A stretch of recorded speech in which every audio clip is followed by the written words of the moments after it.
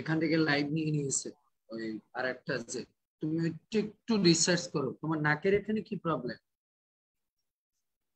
নাকের ওইটাতে ডাক্তার বলছে যে হয়তো কোভিড টেস্ট করতে করতে কারণ সাদা সাদা কি কোথায় এই দেখো এখানে তুমি দেখছো না এটা আমার ওটা নথ নথ ঠিক আছে তুমি একটু দেখো কোনো ইয়ে করতে হলে তুমি একটু চেক করে পাঠাও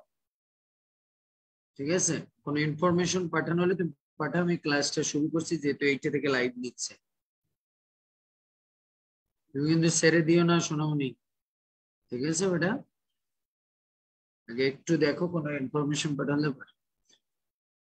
ওম অজ্ঞানতিমিরান্ধস্য ज्ञानञ्जनशलाकया चक्षुरुन्मिलितं तस्म तस्मै नम नमः मनोभीष्ट स्थापितं जन भूतले स्वयं रूपा कदा मायं ददाति शपदान्तिकं वन्दे अहं श्रीगुरुरो श्रीयुतपदो श्रीगुरुणा वैष्णवं च शिरूपं शग्रजातं सहगणरघुनाथनितं तं सजीवं सादयितं शवधूतं परिजनसहितं कृष्णचैतन्यदेवं श्रीराधा कृष्णपादान् सहगणललिता श्रीविशाखान्वितं विष्णु नमं कृष्ण पृष्ठा भूतले श्रीमाते जय जयपदका स्वामिनीति नामिने नमाचार्य पादाय निताय कृपा प्रदायिने गौड़पाथ दमुदाय नगर ग्राम ताड़िने जय श्री कृष्ण चैतन्य प्रभु नित्यानंद श्री अद्वैत गदाधर शिव शादि गौर भक्त वृंद हरे कृष्णा हरे कृष्णा कृष्णा कृष्णा हरे हरे हरे राम हरे राम राम राम हरे हरे मुखम करति बाचलम पंगुलंघायति गिरिम यत्कृपातमां वन्दे परमानन्दमाधवं श्रीगुरुदीनतारिणं श्रीचैतन्यैश्वर हरि ओम তৎসৎ সর্বপ্রথমে আমি আমার পরমারাধ্য গুরুদেব ছিল জয়পতাকা স্বামী গুরু ইস্কন প্রতিষ্ঠাতা আচার্য জগৎগুরু ছিল প্রভুপাত গৌরী আচার্য বর্গ গোস্বামী বর্গের রাহুল চরণ কমলে আমার প্রণতি জ্ঞাপন করছি তৎসঙ্গে আজকের আমাদের চৈতন্য চরিতামৃত ক্লাসে যারা উপস্থিত হয়েছেন সকল আমার পূজনীয় মায়েরা এবং প্রভুজিদের প্রণতি নিবেদন করছি বংশা কল্পতরু ভট্স কৃপা সিন্ধু পেয়ে বচা পতিতানং পাবনে বৈষ্ণবে নমো নমঃ অনন্ত করি বৈষ্ণব ভক্তবৃন্দ কি জয় শিল প্রপাত কি জয় নিতায় গৌর প্রেমানন্দে হরি হরি জয়রাধা মাকে ক্লাসে আসতে বলো তনুশ্রী মা কেমন আছে সে কি এখনো বাবার বাড়ি নাকি শ্বশুর বাড়ি প্রণাম প্রণাম ভালো আছে আপনি ভালো আছেন আমি আছি মা আপনি কবে আসছেন নাকি এখনো শ্বশুর বাড়ি পনেরো দিন হয়ে গেল পনেরো দিন আসছেন আপনাকে ক্লাসে আমি দেখি না হেমালাঠি নিয়ে আসো মারের ক্লাস হবে আজকে হ্যাঁ সমস্যা কি কিছু না বাবুজি হেমালাঠি কই কি এটা কি দেখি কি অন করো তো কি ব্যান্ডেজ শিবের ব্যান্ডেজ কার জন্য আমার জন্য কোন জায়গায় লেগেছে এই এই হাতে কোথায় গালে হ্যাঁ হ্যাঁ কোন জায়গায় কি হয়েছে চামড়া কি চামড়া চামড়া চামড়া উঠে গেছে হ্যাঁ কিভাবে দিদি থাপ্পড় মেরেছে এর জন্য না এটাই দি হ্যাঁ সামরা কোথা থেকে উঠে গেছে জানি না এই ওয়াকি তোমার চামড়া কি থাপ্পড় মারার কারণে সামরা উঠে গেছে আমার আমার চামড়া এই রাউনে উঠে গেছে ও ওখানে ভেজলিন লাগাতে হবে তাহলে চামড়া উঠবে না আজকে খাওয়া দাওয়া করনি নখ খাচ্ছ কেন নখ খাচ্ছি না এর জন্যই তো চামড়া উঠে যায় নখ মুখে হাত দিলে তো চামড়া উঠে যাবে তুমি রাত্রে ঘুমানোর সময় ভেজলিন দিয়ে ঘুমাবে ঠিক আছে তাহলে আর চামড়া উঠবে না ঠিক আছে ব্যান্ডেজ কোন জায়গায় লাগিয়েছ খুলে আবার লাগিয়ে তারপরে আবার খুলেছে হ্যাঁ তোমার দিদি নাক নাক ফুটো করেছে তুমি নাক ফুটো করেছো না কবে করবে হ্যাঁ আমার ভাল লাগে না হ্যাঁ তোমার ভাল লাগে না তুমি যখন ফুটো করবে সুইচ দিয়ে ফুটো করে নেবে ঠিক আছে হ্যাঁ তোমার কানটা এখন ফুটো করতে হবে না হ্যাঁ হ্যাঁ মা তুমি এখন বড় হয়ে গেছো এখন কানটা ফুটো করে দিলে হবে না আমি বড় হয়নি না ও সারাক্ষণ বলতে থাকে যে আমি জয়রাধা আমি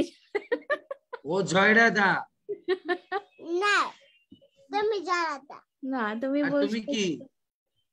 তুমি মাতাজি না তে কি হ্যাঁ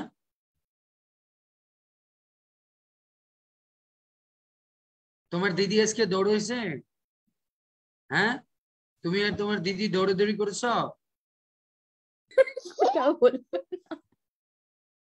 তোমার মা কই ভক্তি শাস্ত্রী মা কই ভক্তি শাস্ত্রী মাকে ডাক দাও যে ক্লাস শুরু হয়েছে হরে কৃষ্ণ প্রভু ঠিক আছে হরে কৃষ্ণ আসুন ক্লাস হ্যাঁ প্রভু জয়রাধা বেড়ে তুমি ওখানে কিন্তু তোমাকে যে কাজটা দিয়েছি তুমি একটু ট্রাই করো তারপর তুমি যাও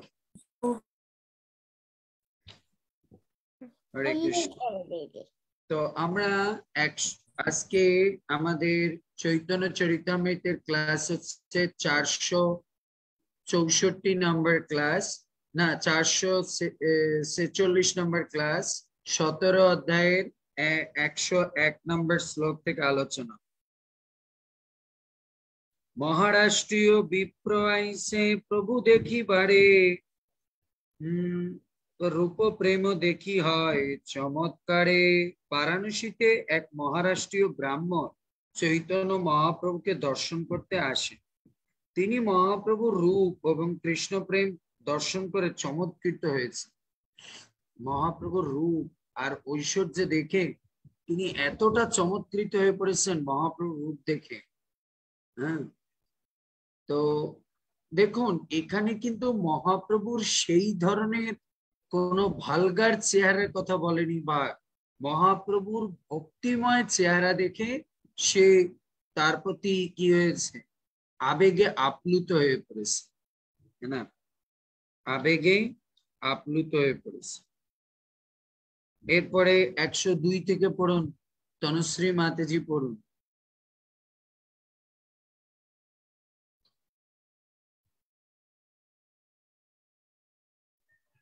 আপনার নাতির নাম আপনি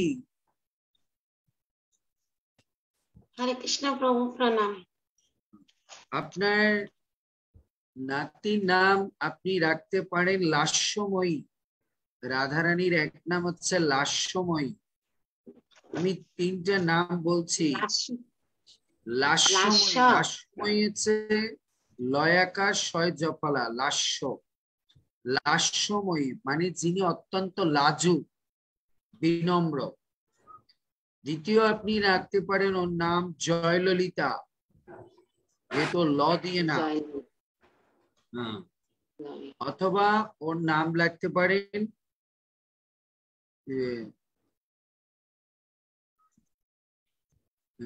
লীলাময়ী রাধা লীলাময়ী রাধা অথবা লীলাময়ী বা লীলাশ্বরী এই নামটা কিন্তু অনেক সুন্দর এখন আপনি দেখেন এই তিনটা নামের মধ্যে ওরা কোনটা পছন্দ করে লাস্যময়ী হচ্ছে রাধারানীর এক নাম কারণ তিনি খুব হ্যাঁ লাস্যময়ী একটু আনকমন নাম আর দ্বিতীয় হচ্ছে জয়ললিতা নাম রাখতে পারেন কারণ ললিতা একটু কমন আছে যে জয়ললিতা নামটা একটু আনকমন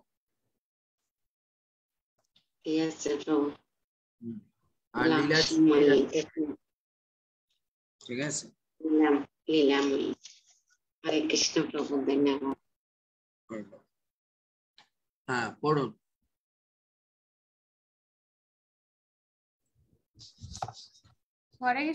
পুনর ষোলো একশো দুই ବିପର ସବ ନିମନ୍ତ୍ରଣ ପ୍ରଭୁ ନାଇଁ ମାନେ ପ୍ରଭୁ କହେ ଆଜି ମୋର হয়েছে নিমন্ত্রণে হইয়াছে নিমন্ত্রণে শ্লোকার্থ আপনি বেসিক্যালি কোথায় আপনার বেসিক্যালি জন্মস্থান কোথায় হ্যাঁ আমাকে বলছেন বাবুজি হ্যাঁ হ্যাঁ আমার জন্মস্থান পশ্চিম মেদিনীপুর কিন্তু আপনি বড় হচ্ছেন ওখানেই তো হ্যাঁ বাবুজি কোথায় কারণ আপনার অ্যাকসেন্ট ওরকম লাগতেছে না হ্যাঁ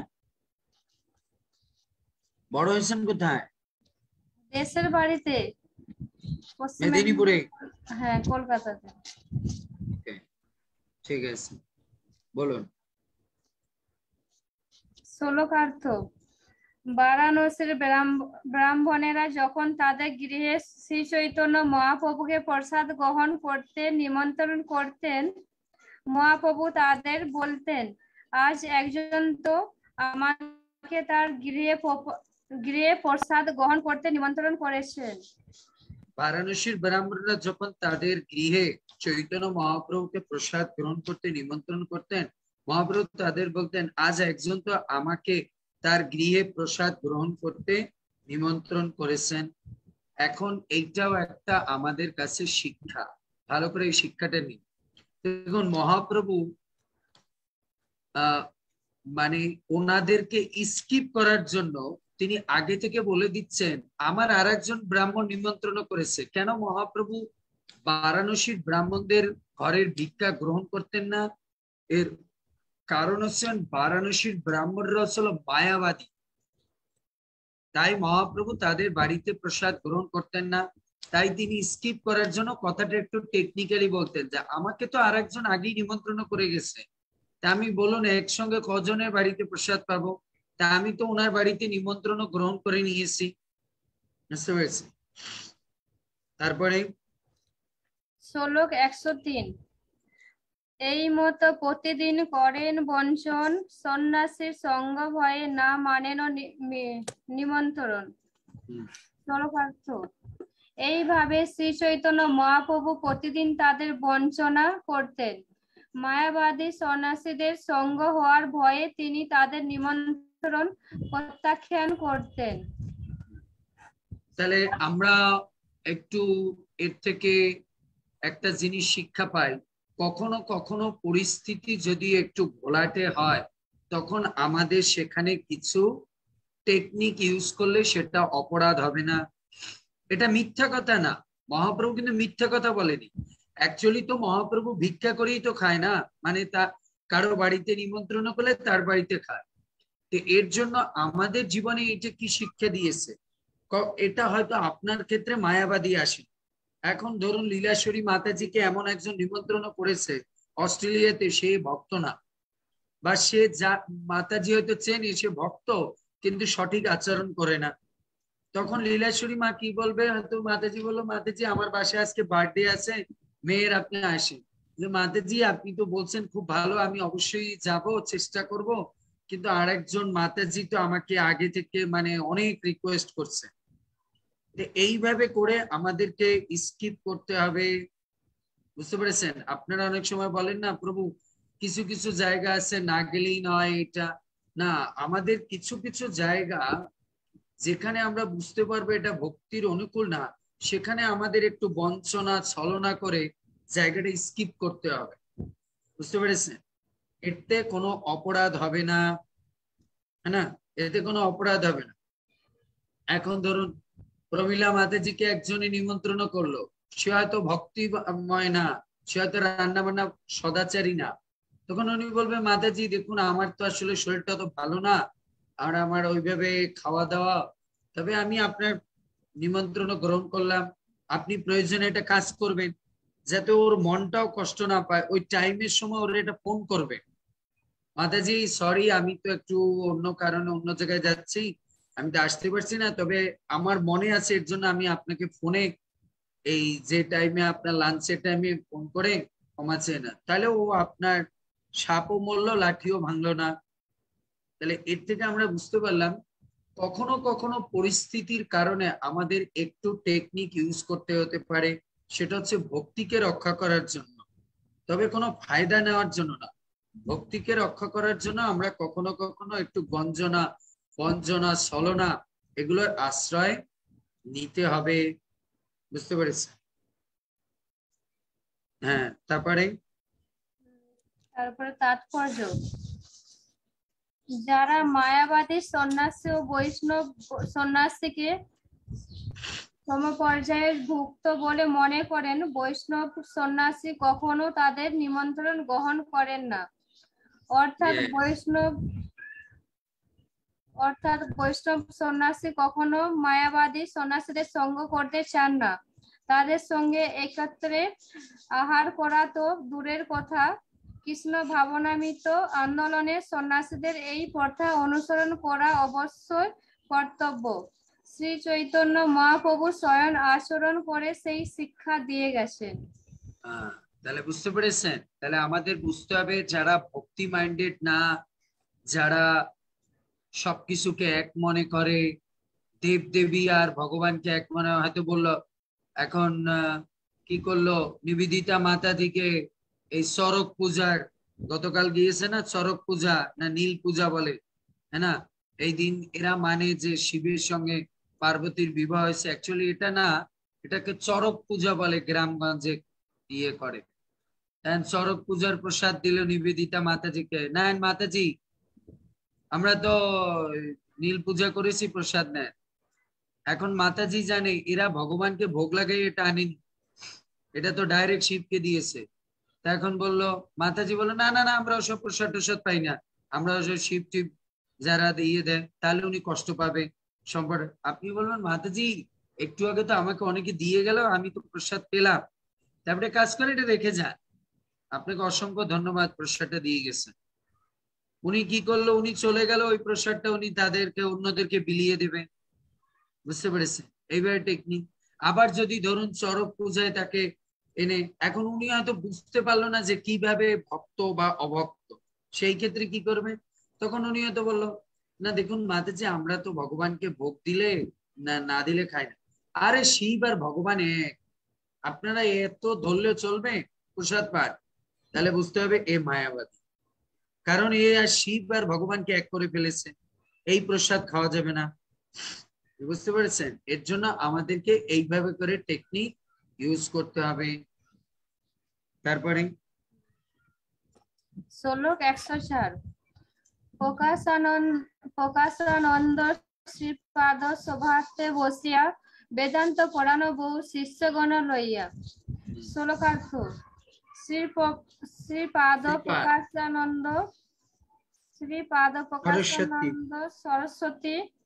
সভাতে বসে তার বহু শিষ্যদের নিয়ে বেদান্ত দর্শন সম্বন্ধে শিক্ষাদান করতেন তাৎপর্য শ্রীপাদ প্রকাশানন্দ সরস্বতী ছিলেন মায়াবাদী সন্ন্যাসী শ্রী চৈতন্য ভাগবতে মধ্যখণ্ড দ্বিতীয় অধ্যায় তার চরিত্র বর্ণনা করে বলা হয়েছে শ্রীপাদ প্রকাশানন্দ সরস্বতী ছিলেন মায়াবাদী সন্ন্যাসী তাহলে আপনারা এটা মনে রাখবেন চৈতন্য মহাপ্রভুর সঙ্গে বারাণসীতে কোন মায়াবাদীর সঙ্গে ওনার ভেট হয় সে হচ্ছে প্রকাশানন্দ সরস্বতী অথবা মহাপ্রভু বারাণসীতে কোন মায়াবাদীকে উদ্ধার করেছিলেন প্রকাশানন্দ সরস্বতী যিনি বিদগ্ধ মায়াবাদী পণ্ডিত ছিলেন চৈতন্য ভাগবতের তৃতীয় খণ্ডে তৃতীয় অধ্যায়ে তার চরিত্র বর্ণনা করে বলা হয়েছে হস্তপদ মোর নাহি কলচন বেদ মোর একমাত্র এই মত করেন কাশিতে পড়ায় বেটা প্রকাশানন্দ সেই বেটা করে মোর অঙ্গ খণ্ড খণ্ড পাখানায় বেদ মোর বিগ্রহ না মানে সর্বাঙ্গে হইল পুষ্ট তবু নাহি জানে সর্ব সর্বযজ্ঞময় মোর যে অঙ্গ পবিত্র অজভব আদি গায়ে যাহার চরিত্র পূর্ণ পবিত্রতা পায় যে অঙ্গ পরশে তাহা মিথ্যা বলে বেটা কেমন সাহসে মধ্যখণ্ড বিংশতি অধ্যায়ে বর্ণনা করা হয়েছে সন্ন্যাসী প্রকাশানন্দ বসয়ে কাশিতে মোরে খণ্ড খণ্ড বেটা করে ভালো মতে পড়ায় বেদান্ত মোর বিগ্রহ না মানে পুষ্ট করাইল অঙ্গে তবু নাহি জানে সত্য মোর লীলা কর্ম সত্য মোর স্থান ইয়া মিথ্যা মোর ইয়া মিথ্যা বলে মোরে করে খান খান করণ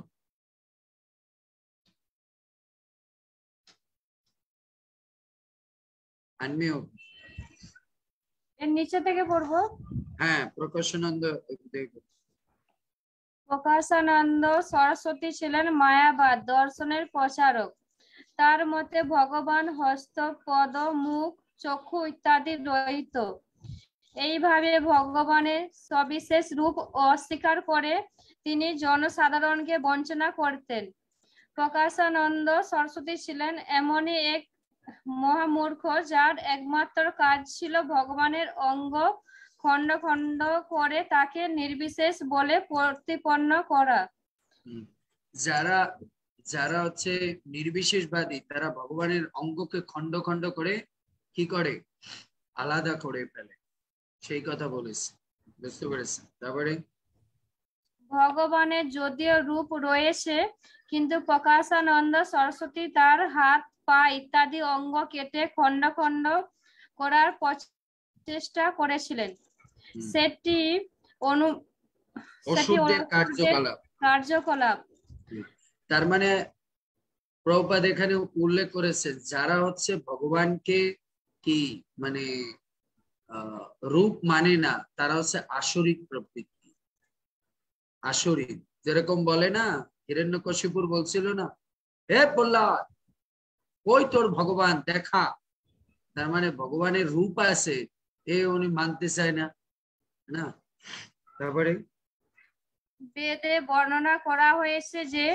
যারা ভগবানের রূপ স্বীকার করে না তারা মহামূর্খ ভগবানের রূপ বাস্তব সে সম্বন্ধে শ্রীকৃষ্ণ ভগবত গীতায় পনেরো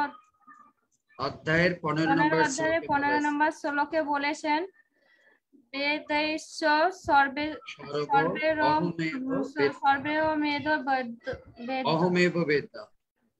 আমি মাঝে মধ্যে চিন্তা করি এইসব পড়ে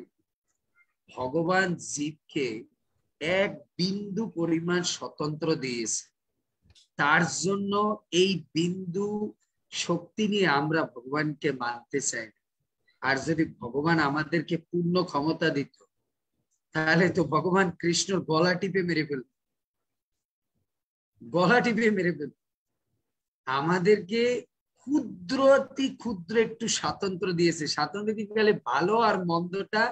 চয়েস করা এটি আমরা ভগবানের রূপ মানতে চাই না ভগবানকে বিশ্বাস করতে চাই না আর যদি ভগবানের টেন পার্সেন্ট পাওয়ার দিত একশো পার্সেন্টও না টেন পার্সেন্ট পাওয়ার দিত আমরা মানে ভগবানরে যে কি করতাম ভগবানও মনে হয় জানে না যে মানুষ আমার কি করে পিত বুঝতে পেরেছে চিন্তা করুন এই পৃথিবীর মানুষকে ক্ষমতা দিলে যে কি করতে পারে একটু খালি ক্ষমতা দিয়েছে তাইতে ও কি অবস্থা করেছে আর যদি মানুষকে পূর্ণ ক্ষমতা না দশ পার্সেন্ট ক্ষমতা মানুষকে দিত ওরা কৃষ্ণের গলা টিপে মেরে না যেরকম টেরোরিস্ট আছে না কারো কারো ই মানে শক্তির বলে কারো বউকে উঠে নিয়ে যায় হ্যাঁ না কিনা রাধারানীকে উঠে নিয়ে যেত এরকম অবস্থা করে চিন্তা করুন যে কি অবস্থা মানুষকে এই মায়াবদ্ধ জীবকে ক্ষমতা দিলে কি অবস্থা না তারপরে অহন অহম শব্দে শ্রীকৃষ্ণ বলেছেন আমি আমি ব্যক্তি বিশেষ নিশ্চয় নিশ্চয়তা নিশ্চয়তা জ্ঞাপন করে জ্ঞাপন করে তিনি এবং শব্দটি যোগ করেছেন বেদান্ত অধ্যয়ন করার উদ্দেশ্য হচ্ছে পরমেশ্বর ভগবানকে জানা বৈদিক জ্ঞানের পরম তত্ত্বকে নিয়ে নির্বিশেষ বলে বর্ণনা করে সে একটি অসুর ভগবানের ভগবানের সবিশেষ রূপের আরাধনা করার ফলে জীবন সার্থক হয় ভগবানের যে রূপ দর্শন করে অধপতিত জীবেরা উদ্ধার লাভ করে মায়াবাদী সন্ন্যাসীরা ভগবানের সেই রূপ অস্বীকার করে প্রকৃত পক্ষে মায়াবাদী অসুরেরা ভগবানের সেই রূপকে খন্ড খন্ড করে ব্রহ্মা শিব আদি মহান দেবতারা পরমেশ্বর ভগবানের পূজা করেন আদি মায়াবাদী সন্ন্যাসী শঙ্করাচার্য ভগবানের রূপকে সবিশেষ বলে স্বীকার করেছেন নারায়ণ পরহ ব্যক্তাত্ম নারায়ণ পরমেশ্বর ভগবান অবক্ত জড় শক্তির অতীত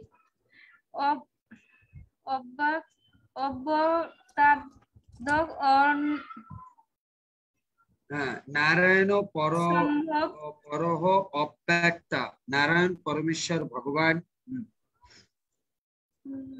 নারায়ণ পরমেশ্বর ভগবান অব্যক্ত জড় শক্তির অতীত হ্যাঁ। অপ্রত্যাব্দ অন্য সম্ভব এই জড় জগৎ অব্যক্ত জড় শক্তি থেকে সৃষ্টি কিন্তু নারায়ণের চিন্ময় স্বরূপ জড় শক্তি দ্বারা সৃষ্টি নয় ভগবানের রূপের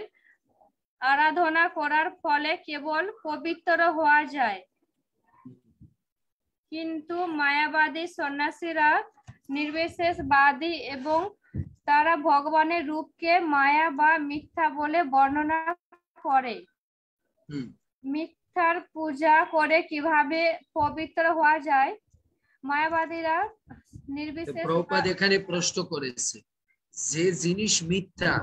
সেই জিনিসে পূজা করে কোনোদিন আমরা পবিত্র হতে পারবো এখন দেখুন এই প্রশ্নটা আপনিও করতে পারেন যে আপনি কালী তো ভগবান না এটা মিথ্যা তা আপনি যদি একজনকে মিথ্যা টাইটেল দিয়ে পূজা করে তাহলে ওই পূজার দ্বারা আপনার কোনো লাভ হবে ধরুন আপনি আপনি যদি আইসক্রিমকে আম মনে করে খেয়ে মানে উদার পূর্তি করতে চান হবে আপনি যদি শরবত খেয়ে জলের তৃপ্তি মিটাতে চান হবে হবে না কারণ যেটা যে জিনিস তাকে সেই নামে বা সেই বস্তুতে পূজা করতে হবে এর জন্য বলছে মায়াবাদীরা সত্যকে মিথ্যা বানিয়ে পূজা করতে চায় তাহলে হবে সত্য হচ্ছে কৃষ্ণের স্বরূপ আছে আর তারা বলে কৃষ্ণের স্বরূপ নাই তাহলে মিথ্যা বানিয়ে পূজা করছে এখন কৃষ্ণ হচ্ছেন ভগবান আমরা যদি ভগবান বলে কাউকে পূজা করি তাহলে কৃষ্ণের করতে হবে এখন যদি সেখানে কালীকে বসিয়ে দুর্গাকে বসিয়ে ভগবান বানিয়ে পুজো করি তাহলে কোনো লাভ হবে কোনো লাভ হবে না বরঞ্চ ওনারও চাকরি যাবে আমারও চাকরি যাবে এর থেকে আমাদের শিক্ষা হচ্ছে যে জিনিস যেটা আমাদের সেই জিনিসের সেই মূল্যায়ন রাখতে হবে তারপরে মায়াবাদীরা নির্বিশেষবাদ স্থাপনে যথেষ্ট প্রমাণ প্রদর্শন করতে পারে না তারা কেবল অন্ধের মতো কতগুলি সিদ্ধান্ত অনুসরণ করে যা যুক্তি তর্কের দ্বারা প্রতিষ্ঠা করা যায় না বারাণসীর প্রধান বারাণসীর প্রধান মায়াবাদী সন্ন্যাসী প্রকাশানন্দ সরস্বতীর অবস্থা ছিল সেই রকম তিনি বেদান্ত দর্শন শিক্ষা দিতেন কিন্তু ভগবানের সবিশেষ রূপ স্বীকার করতেন না তাই তিনি কুণ্ঠ দ্বারা কুষ্ঠ রোগে কুষ্ঠ কুষ্ঠ তাই তাই তিনি কুষ্ঠ রোগের দ্বারা আক্রান্ত হয়েছিলেন তাহলে এর থেকে আমাদের একটা শিক্ষা পেলাম কি কেউ যদি মানুষকে ভুল শিক্ষা দেয় তাহলে তার জন্য তাকে পস্তাতে হবে প্রকাশানন্দ সরস্বতী মানুষকে ভুল শিক্ষা দিয়েছে তার জন্য তার কুষ্ঠ রোগ হয়েছে তাই আপনি যদি কাউকে ভগবত কর্ম ভুল শিক্ষা দেন তাহলে আপনাকে তার জন্য কষ্ট ভোগ করতে হবে বুঝতে পেরেছেন আর যদি সঠিক শিক্ষা দেন তাহলে অবশ্যই ভগবান আপনার উদ্ধার লাভ করাবে তারপর কিন্তু তবুও তিনি ভগবানের সবিশেষ রূপ অস্বীকার করে অপরাধ করে যাচ্ছিলেন পরম সত্য পরমেশ্বর ভগবান সর্বদা তার লীলা এবং ক্রিয়া প্রদর্শন করেন কিন্তু মায়াবাদী সন্ন্যাসীরা প্রচার করে যে সেই সমস্ত কার্যকলাপ মিথ্যা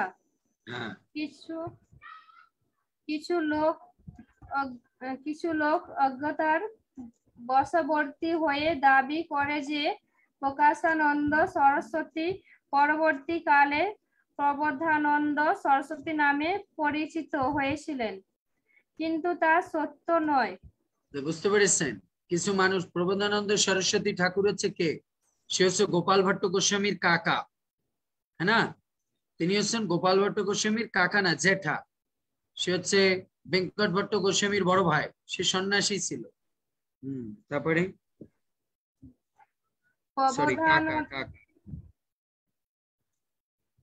প্রবরানন্দ হ্যাঁ। সরস্বতী ছিলেন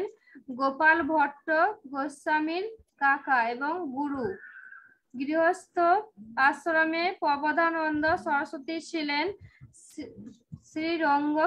রঙ্গক্ষেত্রের অধিবাসী রামানুজ বৈষ্ণব হ্যাঁ। প্রকাশানন্দ সরস্বতী এবং প্রবধানন্দ সরস্বতীকে এক ব্যক্তি বলে মনে করা ভুল বুঝতে পেরেছেন এরকম মানুষ নামের অপব্যাখ্যা করে ব্যক্তি বিশেষকে পাল্টিয়ে ফেলে তাই না যেরকম চৈতন্য মহাপ্রভুকে বলা হয় মহাপ্রভু কিছু কিছু সম্প্রদায় আছে অন্য ব্যক্তিদেরকে মহাপ্রভু বলে সম্বোধন করে মহাপ্রভু একজন সে হচ্ছে চৈতন্য মহাপ্রভু তারপরে একশো পাঁচ পড়বো হ্যাঁ শ্লোক নাম্বার একশো পাঁচ এক বিপ্র দেখি আইলা প্রভুর ব্যবহার প্রকাশানন্দ আগে কহে চরিত্র তাহার শ্লোকার্থ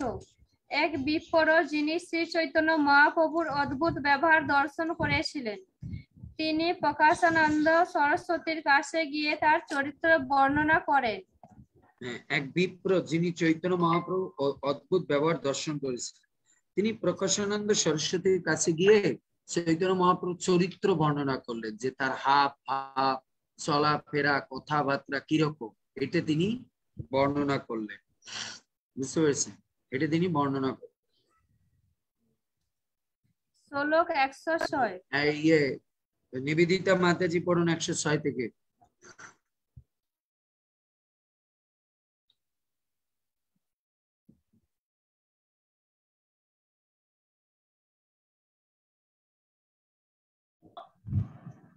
কৃষ্ণ প্রভু প্রণাম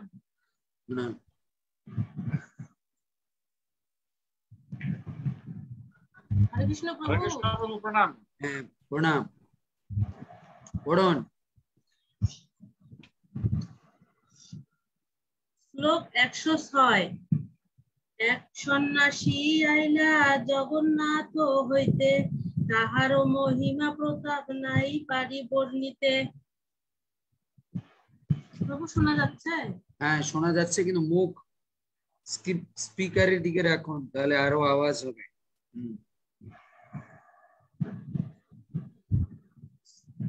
শ্লোকার্থ সেই ব্রাহ্মণটি প্রকাশ নন্দন সরস্বতীকে বললেন জগন্নাথ থেকে এক সন্ন্যাসী এসেছেন তার মহিমা এবং প্রতাপ ভাষায় বর্ণনা করা যায় না তারপরে শ্লোক একশো সাত সকল দেখিয়ে তাতে অদ্ভুত কথন প্রকাণ্ড শরীর শুদ্ধ কাঞ্চনবরণ শ্লোকার্থ সেই সন্ন্যাসীটির সবকিছুই অদ্ভুত তার শরীর প্রকাণ্ড এবং তার গায়ের রং খাঁটি সোনার মতো এখন এটা দিয়ে আমরা আরেকটা জিনিস বুঝি ভালো জিনিসের গুণাগুণ এমনিতেই প্রকাশিত হয় ওর জন্য অ্যাডভার্টাইজমেন্ট দরকার হয় মহাপ্রভু যে প্রকৃত সন্ন্যাসী বা তিনি ভগবান বা তার ভগবত্তা ওগুলো ঢোল পেটিয়ে অ্যাডভার্টাইজমেন্ট করার দরকার নেই এমনিতে অ্যাডভার্টাইজমেন্ট হচ্ছে হ্যাঁ না তারপর শ্লোক একশো আট আজানুলম্বিত ভুজ কমল নয়ন যত কিছু ঈশ্বরের সর্বসলক্ষণ সংলক্ষণ শ্লোকার্থ তার বাহু যুগল লম্বিত তার নয়ন যুগল কমলের মতো ঈশ্বরের সমস্ত লক্ষণ তার শ্রী অঙ্গে বিদ্যমান তারপরে শ্লোক একশো নয় তাহা দেখি জ্ঞান হয় এই নারায়ণ যেই তারে দেখে করে কৃষ্ণ সংকীর্তন শ্লোকার্থ তার এই সমস্ত লক্ষণ দেখে মনে হয় যে তিনি নারায়ণ স্বয়ং যেই তাকে দর্শন করে সেই উচ্চস্বরে কৃষ্ণ নাম সংকীর্তন করতে শুরু করে তার মানে এর থেকে আমরা একটা ঠিক বুঝি যারা মহান ব্যক্তিত্ব ভগবত তত্ত্ববেষ্টা তাদের দেখলে পরে মুখে কৃষ্ণ নাম আসবে বুঝতে পেরেছেন শুদ্ধ কৃষ্ণ নাম আসবে আবার আছে তো প্রভু এই জগতে আমরা তো দেখি আপনার এই কথাটা দিয়ে প্রশ্ন আসতে পারে প্রভু এই জগতে অনেক তো মেকি সাধু দেখি তাদের হয়তো বাস্তবতার ক্ষেত্রে দেখে হয়তো সামনাসামনি দেখে আমাদের মধ্যে আসে কিন্তু আপনি কাকে বুঝবেন যে এ মেকি সাধু না ও শুধু সামনে থাকলেই আপনার হরিনামের ইচ্ছা আসে না তার চিন্তা চেতনাটা বা হরিনাম করা তাকে একবার দেখলে পরে ওটা হৃদয়ে ছাপ পড়ে যায় আজীবনের জন্য তখন তাকে বুঝতে হবে এ হচ্ছে মহাত্মা কিছু ব্যক্তি আছে মেকি সাধু এত সামনাসামনি দেখলে পরে আপনার মধ্যে অনেক ভাবসাব আসতে পারে কিন্তু পরবর্তীতে সে চলে যাওয়ার পরে আপনার আবার সেই বৈষয়িক জীবনের ইচ্ছা ডেকে আসে তখন বুঝতে হবে এ প্রকৃত জেনুইন না কিন্তু যারা শুদ্ধ মহাত্মা তাকে দেখলে পরে আপনার শুধু উনি সামনে না উনি চলে গেল আপনার মধ্যে ক্রিয়া করবে না এই সাধুকে দেখে আমার আর মানে এই জগৎ সংসারের কিছু আর ভাল লাগছে না আমাকে ভক্তি করতে হবে এবার তাহলে এ বুঝতে পারবেন যে জেনুইন না জেনুইন জিনিস তারপরে শ্লোক একশো দশ কিরকম জানেন এটা হচ্ছে ওই যে এই জগতে কিছু সাবান বা প্রোডাক্ট আছে না প্রথমে ব্যবহার করলে কি হয় খুব গন্ধ টন্ধ খুব ভালো লাগে কিন্তু পরবর্তীতে কি হয় আবার দুর্গন্ধময় হয়ে যায় আর যেটা জেনুইন সাবান সেটা আপনার পুরো দিনই আপনাকে কি রাখে রিফ্রেশ রাখে ঠিক তেমনি যে জিনিস জেনুইন সেটা আপনাকে পুরো দিনই জেনুইন রাখে আর যে জিনিস হচ্ছে মেকি সেটা ক্ষণিক মাত্র আপনাকে স্পর্শ করবে হৃদয় পরবর্তীতে আর কোনো কাজ হবে না পরবর্তীতে কাজ হবে সে এটা গল্প বলেছিলাম না আমি মনে আছে আচ্ছা, মনে নেই একটু টাচ করে দিলে মনে আসবে লীলা সুরমায় প্রশ্ন উত্তরে বলেছিলাম যে এক ব্রাহ্মণ তিনি কখনো কি করতেন কোনো বৈষ্ণবের কোনো ব্রাহ্মণের ঘর ছাড়া তিনি খেতেন না কিন্তু এক ব্রাহ্মণ ঘুরতে ঘুরতে কি করেছে ওই একটা মন্দিরে গিয়ে পৌঁছেছে তখন বলছে আপনি যেহেতু আসছেন ওই ব্রাহ্মণকে বলছে আমার একটু শোয়ার জায়গা দেন তা আমি আপনার বাড়িতে ঘুমাই উনি চিন্তা করছে আমি কেন এনারে আবার ঘর গৃহস্থী সাধু মানুষ বাড়িতে নিয়ে গেলে মুশকিল তো তখন বলছি কি আপনাকে মন্দিরে একটা রুম আছে ওইটাই থাকে আপনি যেহেতু সাধু মানুষ হ্যাঁ সন্ন্যাসী মানুষ তখন বলছে তাহলে আপনা আমার ঘরে খায় তো উনি তো আবার কারো হাতে খাবার খায় না তো ওই ব্রাহ্মণ কি করেছে ওনাকে চাল ডাল দিয়েছে উনি রান্না করে খেয়েছে রাত্রবেলা ওনার মনের মধ্যে ইচ্ছা জেগেছে ভগবানের বিগ্রহের সোনার উপা যা আছে চুরি করবে তখন উনি ওই চুরি করে হাঁটতে যাওয়া শুরু করলো তখন এই গল্পটা বলেছিলাম না তখন উনি রাস্তায় বসে চিন্তা করলো আমার জীবনে কোনো দিন কোনো খাবার খেয়ে কোনো কিছু করে আমার মধ্যে এই বাসনা জাগেনি হঠাৎ করে এই বাসনাটা কেন জাগলো এই লোক আমাকে কি খাওয়াইছে তখন জিজ্ঞেস করলো জজমান এই খাবার এই চাউল ডাল আপনি কি দিয়ে দিয়েছেন তাহলে সত্যি কথা বলছি কালকে একটা বিয়ে পড়াতে গিয়েছিলাম একটা জজমানের বাড়িতে গিয়েছিলাম সে আর সেই জজমান ছিল মতখর সে তার পাপের পয়সা টাকা দিয়ে ওই জিনিস দিয়েছে আর ওই উনি কি করেছে ওনাকে খাইতে দিয়েছে এর জন্য ওনার মধ্যে ওই বিক্রিয়া শুরু হয়েছে বুঝতে পেরেছেন এর জন্য আমাদের এই জিনিস বুঝতে হবে যে যেটা ভালো জিনিস সেটা সবসময় ভালো আর যেটা খারাপ ওটা প্রথমে ভালো লাগে কিন্তু পরে খারাপ হ্যাঁ না ধরুন আপনারা হয়তো চিন্তা করতেছেন দূর এরা কি খায় একটু এই গরমের মধ্যে একটু শুক্তা খাচ্ছে বাবার বলছে প্রসাদ শুক্তা আর একটু অন্য খাচ্ছে দূর আমরা দেখুন একবারে বিরিয়ানি রান্না করেছি বিরিয়ানি है ना হেভি জায়ফলটল দিয়ে গোলাপ জলটল মেরে বিরিয়ানি খেয়েছে কিছুক্ষণ পরে ডায়রিয়া শুরু হয়ে গেছে পুরো ডায়রিয়া শুরু হয়ে গেছে তখন আমরা বলি যে আপনি যা খেয়েছেন ওটা জেনুইন ছিল না আর আমরা যেটা পেয়েছি সেটা জেনুইন বুঝতে পেরেছি তারপরে একশো দশ হ্যাঁ না ধরুন অনেকে বলে না আমার গুরুদেব সৎগুরু এই গুরু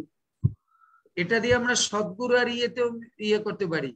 যে আপনার দীক্ষা হয়ে গেল কুড়ি বছর যদি আপনার জিনিস জেনুইন হয় এখন তোরই আপনি পান ছাড়তে পারছেন না পানের ঝোল এখান থেকে পড়ে যাচ্ছে কুড়ি বছর দীক্ষা হয়ে গেছে হ্যাঁ না আর আমাদের বাচ্চার ছেলে যার এখন মাছ মাংস মদ গাজা এগুলো হচ্ছে তার এখন কি তার এগুলো ইয়ে হ্যাঁ না যেরকম ধরুন আমাদের জয়রাধা ও ছোট মানুষ আমাদের হেমা ছোট মানুষ ওরা ছোটবেলা থেকে এখন যদি উল্টাপাল্টা গন্ধ শুকে তো বমি আসে ওরা সদ্গুরুর সান্নিধ্যে আছে থেকে এই অবস্থা আর আপনার তো ছেলে মেয়ে বাদ দেন আপনার দীক্ষা হয়েছে কুড়ি বছর আপনার মধ্যে কোনো পরিবর্তন হচ্ছে না তার মানে জিনিস জেনুইন না জিনিসের মধ্যে প্রবলেম আছে জিনিস যদি সঠিক হতো তাহলে আপনার মধ্যে কিছু না কিছু পরিবর্তন আসতো তাহলে এর জন্য বুঝতে হবে ভালো জিনিস খেলে পরিবর্তন আসবে না আপনি যেরকম টিউটার রাখেন ভাষায় আর দেখলেন যে আপনার ছেলে মেয়ে কোনোই ভালো রেজাল্ট করতে পারছে না তাহলে বুঝতে হবে জিনিস জেনুইন না এর জন্য বাংলায় একটা কথা আছে না বৃক্ষ তোমার নাম কি ফলে পরিচয় এতে ফল দিয়ে পরিচয় করতে হবে যে কে কতটা কি সমস্যা হ্যাঁ না তারপরে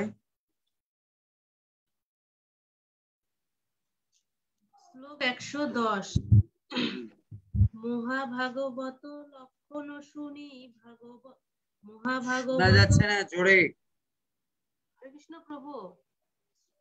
মহাভাগবত লক্ষণ শুনি ভাগবতে সেসব লক্ষণ প্রকট দেখিয়ে তাহাতে শ্লোকার্থ শ্রীমৎ ভাগবতে মহাভাগবতের যে সমস্ত লক্ষণ রয়েছে সে সমস্ত লক্ষণ তার মধ্যে দেখা যায় তাহলে দেখুন একটা জিনিস আমরা বুঝি এই কথাটার দ্বারা আমরা কি বুঝি মায়াবাদীরাও কিন্তু শাস্ত্র পড়ে কিন্তু ওরা শাস্ত্র পড়েও নিজেকে বড় করার জন্য ওই জিনিস প্রকাশ করে না তার মানে ওরাও ভাগবতে জানে একজন মহা ভাগবতের কি কি লক্ষণ আছে ওরা জানে কিন্তু তারপর ওটা বলে না তাহলে কি হবে নিজেদের ক্রেডিট নষ্ট হয়ে যাবে এর জন্য ওটাকে চাপিয়ে রাখে তো বলতেছে মহাভাগবতের যে লক্ষণ তা তো ওনার মধ্যে আছে তাহলে ওনার মধ্যে যেহেতু আছে আপনি দেখতেছেন তাহলে ওনাকে মানেন না কেন ভগবত তারপর ওনা মানবে না কারণ ওরা চিন্তা করে তাহলে তো আমাদের স্ট্যাটাস নিচে চলে যাবে তারপরে শ্লোক একশো এগারো নিরন্তর কৃষ্ণ নাম জিহ্বা তার গায় দুই নেত্রে অশ্রু বহে গঙ্গা ধারা প্রায় শ্লোকার্থ তার জিহ্বা নিরন্তর কৃষ্ণ নাম কীর্তন করে এবং তার দুই চোখ দিয়ে গঙ্গার ধারার মতো অশ্রু ঝরে পড়ে তাহলে এই কথার দ্বারা আমরা আর একটা জিনিস বুঝতে পারলাম মহাভাগবতের একটা লক্ষণ কি তিনি সর্বদা হরিনাম করে এখন একটা কথা বলবেন হরিনাম বলতে যে শুধু হরে কৃষ্ণই করে তা না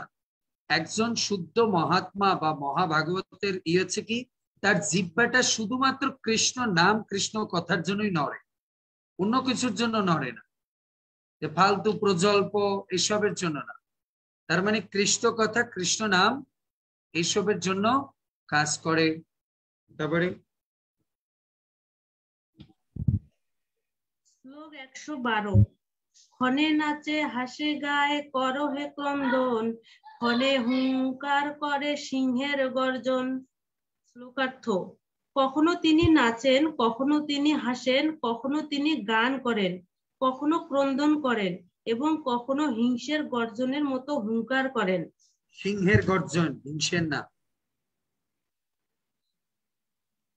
তারপরে সিংহের প্রভু এখানে লেখা সিংহের হ্যাঁ শ্লোক একশো তেরো জগৎ মঙ্গল তার কৃষ্ণ চৈতন্য নাম নাম রূপ গুণ তার সব অনুপম শ্লোকার্থ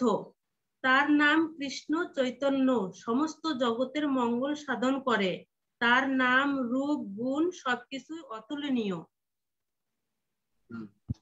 তারপরে শ্লোক একশো চোদ্দ দেখিলে সে জানি তার ঈশ্বরের রীতি অলৌকিক কথা শুনি কে করে প্রীতি শ্লোকার্থ তাকে দেখলে বোঝা যায় যে তার মধ্যে পরমেশ্বর ভগবানের সমস্ত বৈশিষ্ট্য বিদ্যমান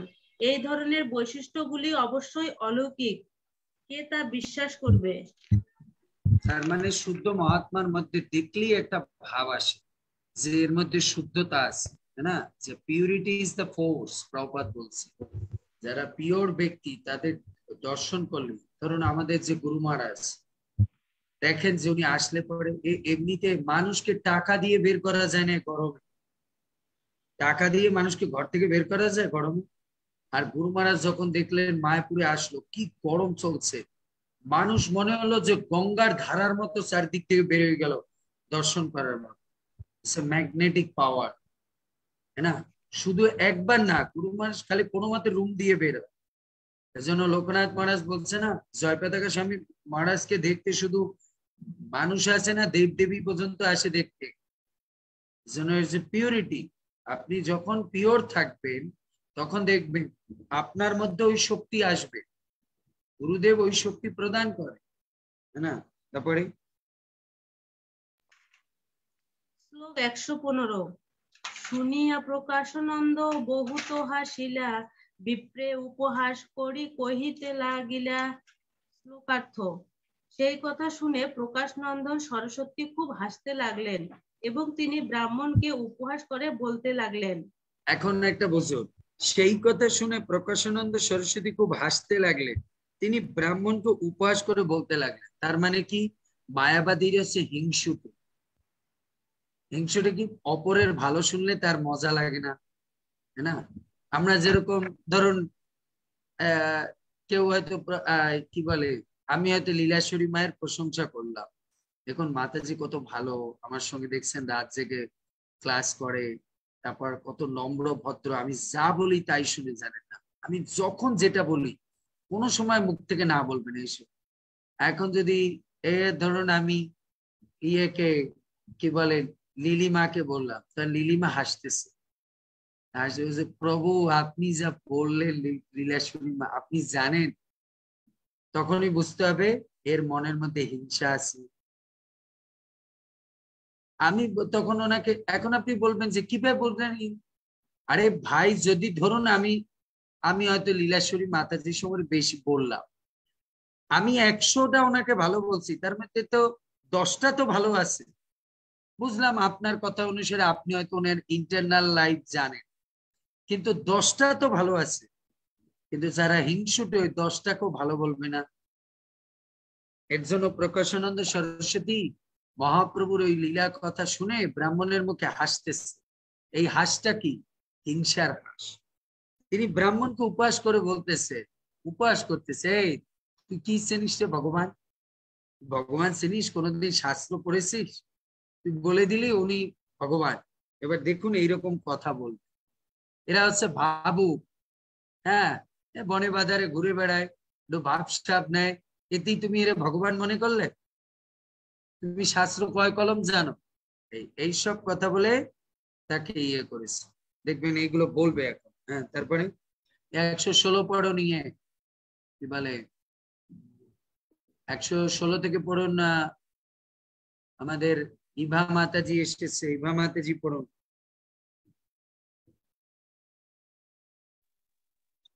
হরে কৃষ্ণ প্রণাম চরণে প্রণাম শ্লোক একশো ষোলো শুনিয়াছি গৌর দেশের সন্ন্যাসী ভাবু কেশব ভারতী শিষ্য লোক শ্লোকার্থ প্রকাশন প্রকাশানন্দ সরস্বতী বললেন হ্যাঁ আমি গৌর দেশের সেই ভাবপ্রবণ সন্ন্যাসীটির কথা শুনেছি আমি এত শুনেছি যে তিনি কেশব ভারতীর শিষ্য এবং তিনি লোকদের বর্ণনা করেন দেখেছেন এই যে মহাভাগবত না তা প্রথমে কিভাবে বুঝেছেন যে সে অন্যের নিন্দা করে এটা হচ্ছে প্রথম প্রকাশানন্দ সরস্বতী যে জেনুইন লোক না তার প্রথম প্রকাশ কি একে হচ্ছে তার মধ্যে হিংসা দ্বিতীয় হচ্ছে অন্যের ভালো শুনতে পারে না অন্যের নিন্দাটা বলে তো বলছে প্রকাশানন্দ সরস্বতী বললেন আমি গৌর দেশে গিয়ে শুনেছি ভাবপ্রবণ সন্ন্যাসী আছে না আমি এও শুনেছি তিনি কেশব ভারতীর শিষ্য তার মানে এটা একটু উড়িয়ে দিল যে কেশব ভারতী তো মায়াবাদী তার আবার শিষ্য যদি নিজের শিষ্য হইতো তাহলে খুব গর্ব করত যদি প্রকাশানন্দ সরস্বতীর কাছ থেকে মহাপ্রভু দীক্ষা নিত তাহলে খুব বড় গুণকয়ন করত তিনি লোকেদের প্রতারণা করেন শুনেছি হ্যাঁ না আরে ভাই কি প্রতারণা করেছে বলবেন তো এই হচ্ছে এর জন্য বুঝবেন যারা হিংসুটি ব্যক্তি অপরের ভালো শুনতেই পারে না এরা এদেরকে বলা হয় অদোষদর্শী না দোষদর্শী তার মানে গুণ দোষদর্শী গুণের মধ্যে দোষ দর্শন করে এদেরকে বলা হয় গুণ দোষদর্শী বুঝতে পেরেছি তারপরে তাৎপর্য জয় শ্রী প্রভুপাত কি জয় চৈতন্য মহাপ্রভু সর্বদা ভগবত প্রেমের দিব্যভাব প্রকাশ করতেন বলে এখানে তাকে ভাবুক ভাবুক বলা হয়েছে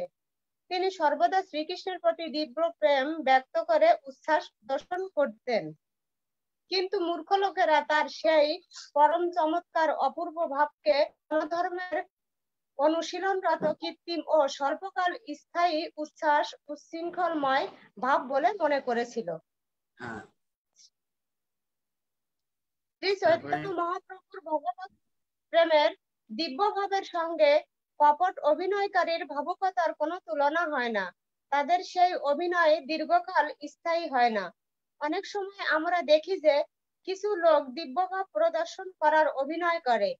কিন্তু তাদের এই অভিনয়ের পরেই তারা ধূমপান আদি জঘন্য কর্মে লিপ্ত হয় প্রথমে প্রকাশন প্রকাশানন্দ সরস্বতী মহাপ্রভুর রাজ্যগুলো শুনেছিলেন তখন তিনি তাকে একজন প্রতারক বলে মনে করেছিলেন ভগবত ভক্তের ভগবত প্রেম জনিত অপ্রাকৃত ভাব বুঝতে পারে না তাই সে ভাবের লক্ষণ প্রকাশিত হলে তারা তাকে মনোধর্ম অনিত্য ভাবকতা বলে মনে করে তো প্রকাশানন্দ সরস্বতীর এই উক্তি অপরাধজনক এবং তাই তাকে পাষণ্ডী বা নাস্তিক বলে বিবেচনা করা উচিত ভগবত ভক্তের ভগবত প্রেমজনিত অপ্রাকৃত ভাব মায়াবাদীরা বুঝতে পারে না তাই সেই ভাবের লক্ষণ প্রকাশিত হলে তারা তাকে মনোধর প্রসূত অনিত্য ভাগবতা মনে তাই প্রকাশানন্দ সরস্বতী ঠাকুরের এই উক্তি অপরাধজনক তাই তাকে পাষণ্ডী বা নাস্তিক বলে বর্ণনা করা হয়েছে যারা মহাভাগবতের নিন্দা করে তারা হচ্ছে পাষণ্ডী ভগবানের চরণে অপরাধী নাস্তিক তারপরে শ্রীল রূপ গোস্বামীর সিদ্ধান্ত অনুসারে প্রকাশানন্দ সরস্বতী যেহেতু ভগবানের সেবায় যুক্ত ছিলেন না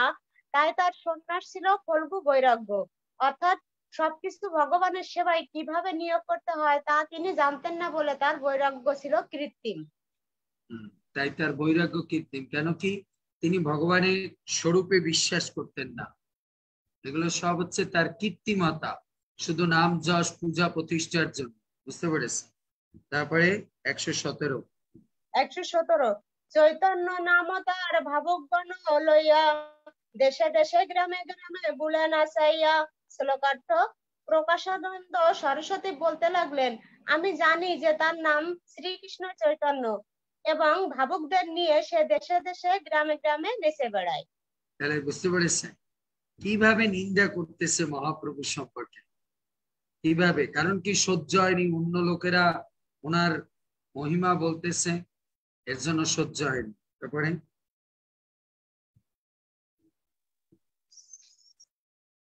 শ্লোক একশো আঠারো যেই দ্বারে দেখে সেই ঈশ্বর করি কহে ওই সে মোহন যে দেখে সে মোহে শ্লোকার্থ যেই তাকে দেখে সেই তাকে পরমেশ্বর ভগবান বলে মনে করে তার কিছু মহান বিদ্যা জানা রয়েছে যার প্রভাব সে লোককে মহাচ্ছন্ন করে যে তাকে দেখে সে এইভাবে মোহিত হয় তাহলে বুঝতে পেরেছেন এর জন্য শাস্ত্রে কেন বলা হয়েছে যে মায়াবাদী ভাষ্য শুনিলে হয় সর্বনাশ এই কথাগুলো যদি কোনো নবীন ভক্ত শোনে তাহলে তার মহাপ্রভুর প্রতি যে ভালোবাসা শ্রদ্ধা নষ্ট হয়ে যাবে কারণ সে তো এখন তোর শাস্ত্রের ডিপনেস জানে না এর জন্য শাস্ত্রে বলেছে যে মায়াবাদী ভাষ্য শুনিলে হয় সর্বনাশ কেন ওরা ভালো জিনিসটাকেও খারাপ করে প্রকাশ করবে ভালো জিনিসটাকেও খারাপ বলে মহাত্মাদের ডিগ্রেডেড করে দিন এর জন্য কখনো মায়াবাদীর মুখে কখনো ওই কথা বা কোনো কিছু শুনতে হয় তখন তারা এর জন্য এই পৃথিবীতে আছে দেখবেন এরকম আপনারা বলেন না প্রভু এই মায়াবাদী আমরা কোথায় দেখবো আর এই পৃথিবীতে সবই মায়াবাদী দেখবেন অনেকে বলে আর এই ইস্কন ভালো না এসব প্রভুপার সব মন গড়া লিখছে ইস্কন এই গীতা টিতা তাদের মন করা লাগবে বুঝতে পারবেন এই সব কি পাষণ্ডীর দল আর পাষণ্ডীর এই একই কথা প্রকাশানন্দ সরস্বতী এই মহাপ্রভু সম্পর্কে বলছে না আরে ভাবুকে ইয়ে ঘুরে বেড়ে বেড়ায় এরকমই তো ইস্কনে বলে না আরে এরা কিছু না খালি ডলার কামায় বড় দেখে শিষ্য বানায় না বড় লোকদের শিষ্য বানায় মোটা টাকা ইনকাম করে সিল্কের ধুতি পরে না এসব আদে এরা কোনো ভক্তি টক্তি কিছু করে না বুঝতে পেরেছেন এই হচ্ছে তাদের ইয়ে এরা যে ভক্তি কিছু করতেছে তখন তাদের আপনি কি উত্তর দিবেন আচ্ছা বুঝলাম ভাই ভক্তি করে না কিন্তু ব্র্যান্ড কে তো ব্র্যান্ড এত কেন পৃথিবীতে সরিয়ে যাচ্ছে যদি ব্র্যান্ড ভালো না হয় তখন চুপ করে থাকে আপনি খালি একটাই উত্তর দেবেন ওরা যখন বলবে ইসকন ভালো না কোনো কিছু আপনি বলবেন আমিও তো বলি ভালো না কিন্তু সমস্যা হচ্ছে প্রোডাক্ট কিনতে গেলে দেখি ওইটাই তো মার্কেটে বেশি চলে ওইটারই তো প্রোডাকশন বেশি সমস্যা তো আমাদের ওখানে আপনিও তো জিনিসপত্র কিনতে গেলে যেটার মার্কেট বেশি ওইটাই কেনেন হ্যাঁ আমি মার্কেটে গেলে তো দেখি চারিদিক স্কট না চারিদিকে স্কট তো বুঝতে পেরেছেন এর জন্য আমাদের বুঝতে হবে এর জন্য আমাদের বুঝতে হবে তাই না অনেকে বলে আরে ইসকন খারাপ ইয়ে খারাপ হ্যাঁ তখন উনি আমি বললাম যে আপনি এটা যে ফেসবুক চালাচ্ছেন আপনার ফেসবুক চেনে কজন একটা ফেসবুক খুলবেন সব খালি ইসকন পৃথিবীতে যত জায়গায় ভগবানের ফটো দেখবেন সব ইসকন এর জন্য এরকম গৌরীয় বা স্কনের যারা শুদ্ধ ভক্তি প্রচার করছে ভক্তি সিদ্ধান্ত সরস্বতী প্রপাত আমাদের অভয় চরণের বিন্দু স্বামী শিলপ্রভ শুদ্ধ লোক না আপনি এখন যদি দু একজন কর্মী জগতের লোক দিয়ে আপনি ইসকনকে বলেন এটা হবে না এখন একটা বাগান থাকলে সেখানে হয়তো দুই একজন খারাপ থাকতে পারে তাই বলে আপনার স্কন বা গৌরী সম্প্রদায়কে খারাপ বলা যায় ব্যক্তি বিশেষ খারাপ হতে পারে তা কারো মধ্যে অসৎ চরিত্র থাকতে পারে কারণ বাগান হলে দুইটা আগাছা তারপরে শ্লোক একশো উনিশ সার্বভৌম ভট্টাচার্য পণ্ডিত প্রবল শুনি চৈতন্যের সঙ্গে হইল পাগল শ্লোকার্থ সার্বভৌম ভট্টাচার্যের মতো মহাপণ্ডিত শুনেছি এই শ্রী চৈতন্যের প্রভাবে পাগল হয়ে গেছে হ্যাঁ, বুঝতে পেরেছেন কারণ কি সেও তো মায়াবাদী সন্ন্যাসী লিডার ছিল না সার্বভৌম ভট্টাচার্য তার মানে বুঝতে পারেন এর খবরা খবর কিন্তু তারা ঠিকই রাখে এর থেকে আবার কি বোঝা যায় যারা হিংসুটে লোক না ঠিক কিন্তু খবর রাখে এ না যে খবর রাখে না সব খবর রাখে আর ভিতরে ভিতরে হিংসা না এর জন্য যেরকম দেখবেন আপনি ইস্কন সম্পর্কে কি জানে ওরা আমার যারা হিংসা করেন ইস্কনকে ওরা আমাদের থেকে অনেক কিছু জানে তবে ভালো সাইডটা জানে না খারাপ সাইডটা জানে এর জন্য প্রকাশানন্দ সরস্বতী জানে যে কি সার্বভৌম ভট্টাচার্যের কি গুরু হচ্ছেন এই হ্যাঁ কিন্তু আবার দেখ এই কথার দ্বারা আমরা এও বুঝতে পারি প্রকাশানন্দ সরস্বতী অলরেডি এও জানে যে মহাপ্রভু বারাণসীতে এসেছে তবু ভাবসাব নেয়নি মানে ইয়েটি করেনি তাহলে যদি দলের লোক সিটে যায় বুঝতে পেরেছে এর জন্য অনেকে বলে দেখবেন অনেক সম্প্রদায়ের যারা ওই কুলু গুরুর দীক্ষা টিক্ষা এই ইস্কনে যাবে না ওরা কান ভারী করে নষ্ট করে লোকজনকে কখনো ইস্কনের সীমানা থেকেও যাবে না গৌরীয় সম্প্রদায়ের কোনো মন্দিরের কাছাকাছি যাবে না চিন্তা করছে মা আসছে ওইখানে গেলে পরেই তো আমার শেষ ব্যবসা শেষ অরিজিনাল জিনিস শিখে ফেলবে তারপরে শ্লোক একশো বিশ সন্ন্যাসী নাম মাত্র মহা ইন্দ্রজালী কাশীপুরে না বিজ্ঞাপে তার ভাবকালী শ্লোকার্থ এই চৈতন্য নামে মাত্র সন্ন্যাসী প্রকৃতপক্ষে সে এক মহা ইন্দ্রজালী কিন্তু এই কাশীনগরীতে সে তার ভাবুকতার পশা বিক্রি করতে পারবে না তাহলে বুঝতে পেরেছেন এর দ্বারা আমরা কি বুঝি এর দ্বারা যখন আপনি শোনেন যে ইসকনের কেউ নিন্দা করছে বা গৌরীয় সম্প্রদায়ের কেউ নিন্দা করছে তা আপনার তখন মাথা গরম করা উচিত না কেন স্বয়ং ভগবান এই জগতে থাকাকালীনও তার নিন্দা করেছে তো এখন তো ভগবান নেই তো তোর পিছনে তো নিন্দা করবেই চৈতন্য মহাপ্রভু এই জগতে জীবদ্দশায় ছিল সেই অবস্থায় নিন্দা করেছে প্রকাশানন্দ সহজে সে বলছে সে একটা মায়া ইন্দ্রজালি তার মানে জাদুকর জাদুবিদ্যা দিয়ে মানুষের মনকে আকৃষ্ট করে কিন্তু এই কাশী নগরীতে সে ভাগবতার পশরা বিক্রি করতে পারবে না বলছে আমরা এখানে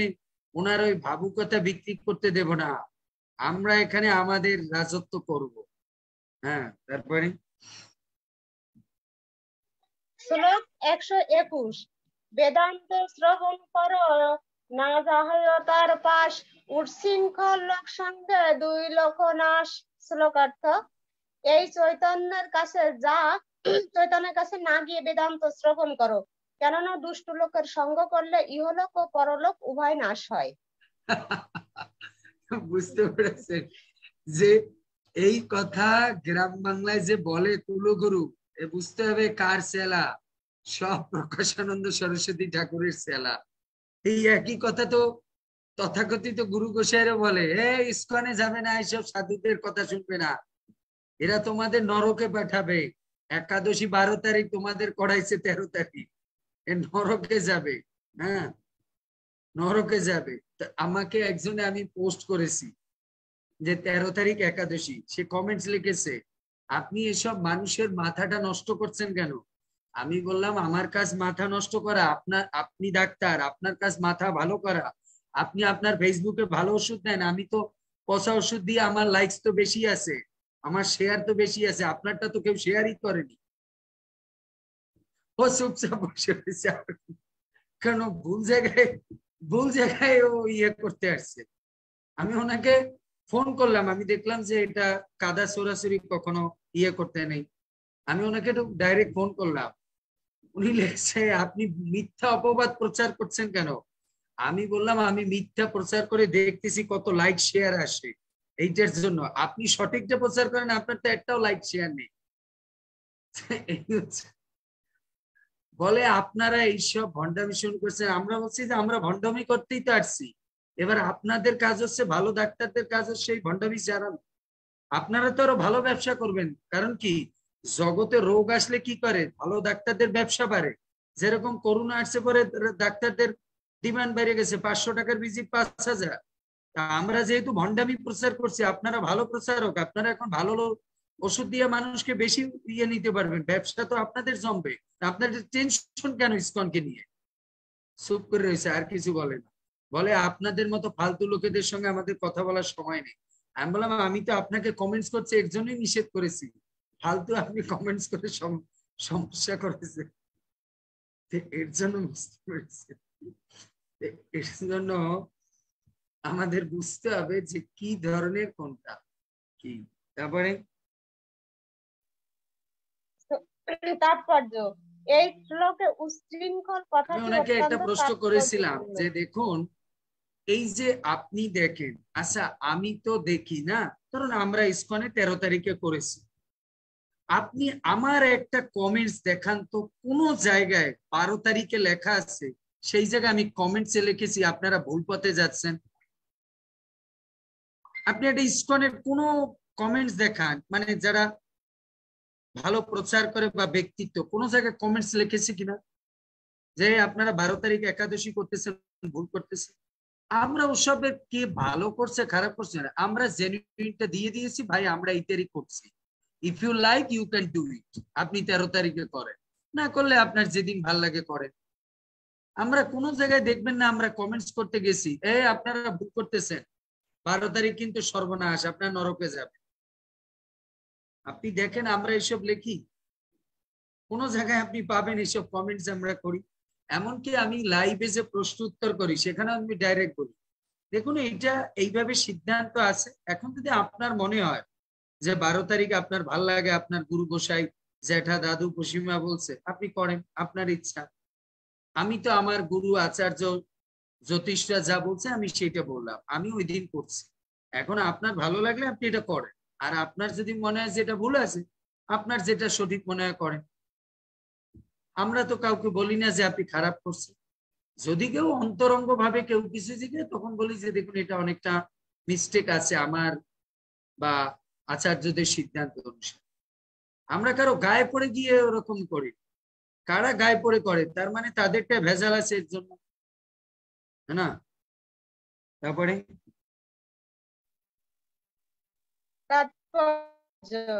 এই শ্লোকে উশৃঙ্খল কথাটি অত্যন্ত তাৎপর্যপূর্ণ ভগবত গীতায় ষোলো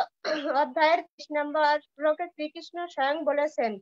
যহ শাস্ত্র বিধি মৃৎসির্য বর্ততে কাম কারত ন সিদ্ধিম ন সুখম ন পরম গতিম কেউ যদি স্বাস্থ্যবিধি অনুসরণ না করে উচ্ছৃঙ্খলের মতো আচরণ করে তাহলে সে কখনো সিদ্ধি সুখ অথবা পরাগতি লাভ করতে পারে না হ্যাঁ তার মানে কেউ যদি শাস্ত্রবিধি অনুসরণ না করে উশৃঙ্খলের উশৃঙ্খলতার মতো আচরণ করে তাহলে সে কখনো সিদ্ধি সুখ এবং পরাগতি লাভ করতে পারে তাই আমরা এই জগতে সুখ খুঁজি না এ ভাগবত ভগবত গীতার কথা ষোলো অধ্যায়ের তেইশ নাম্বার যারা উশৃঙ্খলতাময় জীবন যাপন করবে তারা কোনোদিন জীবনে সুখে থাকবে না সেটা ধরুন খাওয়া দাওয়া হোক জীবনের লাইফ স্টাইল হোক তারপরে ড্রেস আপে হোক যদি উশৃঙ্খলময় জীবনযাপন করে তাহলে তারা কোনোদিন শান্তি পাবে না ভগবত গীতার ষোলো অধ্যায়ের তেইশ নম্বর শ্লোকে বলছে ষোলো অধ্যায়ের তেইশ নম্বর শ্লোকে বলছে তাহলে এর থেকে বোঝা গেছে কেউ কারোই কখনো কি করা উচিত না উশৃঙ্খলময় জীবনযাপন করা উচিত না সবার ভক্তিমূলক জীবন যাপন করা উচিত তারপরে শ্লোক একশো বাইশ এত শুনি সেই বিপ্র মহা দুঃখ পাইলা কৃষ্ণ কৃষ্ণ কহি তথা হইতে উঠি গেলা শ্লোকার্থ প্রকাশানন্দ সরস্বতীর মুখে শ্রী চৈতন্য মহাপ্রভু সম্বন্ধে এ কথা শুনে সেই ব্রাহ্মণটি অত্যন্ত দুঃখিত হয়ে কৃষ্ণ নাম উচ্চারণ করতে করতে সেখান থেকে উঠে গেলেন হ্যাঁ, তাহলে এই এই এখান থেকে আমাদের জীবনে শিক্ষা কি আমরা এর আগে পড়েছি যেখানে মহা ভাগবত বা বৈষ্ণবের নিন্দা হবে কি করতে হবে হয় তাকে যুক্তি থাকলে ফাইটিং করতে হবে যুক্তি না থাকলে ওখানে আত্মহত্যা করতে হবে আর না হলে ওই স্থান ত্যাগ করতে হবে তাই এই ব্রাহ্মণ চিন্তা করলো এ তো মায়াবাদী প্যাসের লোক এর সঙ্গে যুক্তি তর্ক দিয়ে কাজ হবে না ভাই এখান থেকে চলে যাওয়াটাই ভালো তাই তিনি মনে অত্যন্ত কষ্ট নিয়ে ওখান থেকে চুপচাপ ঊর্ধ্বে চলে গেলেন আমাদেরও এটা শিক্ষা যেখানে বৈষ্ণব নিন্দা হয় মহাভাগবতের নিন্দা সেখান থেকে চুপচাপ উঠে গেলেই ভালো চুপচাপ ওখান থেকে সরে যাবে তারপরে লোক একশো তেইশ প্রভুর শুনে শুদ্ধ হইয়াছে তার মন প্রভু আগে দুঃখী হইয়া হইয়া কহে বিবরণ শ্লোকার্থ পরমেশ্বর ভগবান শ্রী চৈতন্য মহাপ্রভুকে দর্শন করার ফলে সেই ব্রাহ্মণের মন শুদ্ধ হয়েছিল তাই তিনি দুঃখিত হয়ে শ্রী চৈতন্য মহাপ্রভুর কাছে গিয়ে সমস্ত কথা বর্ণনা করলেন এবার দেখুন এক এক পাষণ্ডী মহাভাগবতের কাছে গুণকীর্তন করার ফলে কি উত্তর দিয়েছিল একটু আগে আমরা শুনলাম এবার দেখুন জেনুইন মহাভাগবতের কাছে এসে সেই কথা বললো আর সে কি উত্তর দিল দেখুন হ্যাঁ শ্লোক একশো চব্বিশ শুনি মহাপ্রভু তবে ঈষদ হাসিয়া পুনরূপী সেই বিপ্র প্রভুরে পুছিলা শ্লোকার্থ সেই কথা শুনে শ্রী চৈতন্য মহাপ্রভু ঈষদ হাসলেন সেই ব্রাহ্মণটি তখন শ্রী চৈতন্য মহাপ্রভুকে আবার বললেন শ্লোক একশো পঁচিশ তার আগে যবে আমি তোমার নাম লইল সেহ তোমার নাম জানে আপনে কহিল শ্লোকার্থ আমি যখন তার কাছে আপনার নাম উল্লেখ করলাম তখন তিনিও বললেন যে তিনি আপনার নাম জানেন তাহলে এর থেকে কি আমি যখন আপনার নাম উল্লেখ করলাম তিনি বললেন আপনি আমিও আপনি উনি আপনার নাম জানেন তাহলে দেখুন মহাপ্রভুর কাছে তার নিন্দার কথা এসে বলল মহাপ্রভু কি তাকে উল্টা রিটার নিন্দা করতে শুরু করেছে আরে তুমি এইসব ফালতু লোকের কাছে গেছো এ তো মায়াবাদী এসব ভণ্ড হ্যাঁ উচ্ছৃঙ্খল জীবনযাপন পাশন্ডি এইসব হাবি জেবি কথা বলছে মহাপুর চুপচাপ ও কে কি বললো কে কি না বললো ওটা বড় বিষয় না না তাহলে আমাদের জীবনে বুঝতে হবে আপনি যদি সঠিক হন না পিছনে আপনাকে কে কি বললো ও আপনি ডোন্ট কেয়ার বাংলায় একটা কথা আছে না আপনি যদি সাচ্চা দিলের হন না পিছনে আপনাকে কে কি বললো ও চিন্তা কথা আর একটা জীবনে জানবেন জীবনে যদি সবকিছু পিছনের মানুষের কথা শুনে যদি চালাতে চান তাহলে জীবনে কোনোদিন আগাতে পারবেন জীবনে অনেক ক্ষেত্রে কি করতে হবে আউটসাইডের কথাটাকে স্কিপ করতে হবে ও কি বললো না বললো অত শুনলে আপনি আগাতে পারবেন আপনাকে আগাতে হলে গুরু কৃষ্ণের কথা শুনে সচ্চা দিল রেখে নিজে জেনুইন মনোভাব রেখে আপনি আগাতে থাকুন দেখবেন কেউ বন্ধ করতে পারবে ছিল প্রভুপাদের অনেক নিন্দা করছিল অ কি করে দেখব কজন ভক্ত বানায় দেখব কি দীক্ষা শিক্ষা নিয়েছে কি জানে নিজে নিজে গুরু এইসব ভাবি যে প্রভুপাদ সব কোনো কথা শুনেছে তিনি জানতেন যে তিনি জেনুইন জিনিস করার জন্য যাচ্ছে তার গুরু আজ্ঞা এর জন্য টিকে গেছে সবার মধ্যে কি হয় জানেন বড় কিছু করার সম্ভাবনা রয়েছে ম্যাক্সিমাম মানুষের মধ্যে কিন্তু সব মানুষ মানে সাকসেস করতে পারে না কেন কারণ ম্যাক্সিমাম হচ্ছে পিছনের কথা শুনে বেশি এজন্য যে ব্যক্তি পিছনের কথা শুনে সে আর আগাতে পারে না যখন আপনি পিছনের কথা শুনবেন তখন মনে পড়বে আপনি পড়ে গেলেন ফাঁকে এর জন্য আপনি কখনো জীবন তরি চলতে গিয়ে এই কথাটা জীবনে মনে রাখবেন এই জীবনে চলতে গিয়ে বেশি পাশে কথা শুনবেন না মনে রাখবেন যারা পাশে আছে সবাই আপনার ভালো চায় না ভালো চায় না নাইনটি নাইন পার্সেন্ট লোক হচ্ছে আপনার খারাপ চায় এর জন্য এক গুরু কৃষ্ণ বা আপনার যারা শুভাকাঙ্ক্ষী এই ধরনের ব্যক্তির কথাই শুনুন বা যে আপনার কাউন্সিলিং সবার কথা কানে নিতে গেলে আপনি চলতে পারবেন না কারণ আপনি মনে রাখবেন কিছু কিছু ব্যক্তি আছে আপনার জীবনে যে মুখোশধারী কি আপনার হত্যাকারী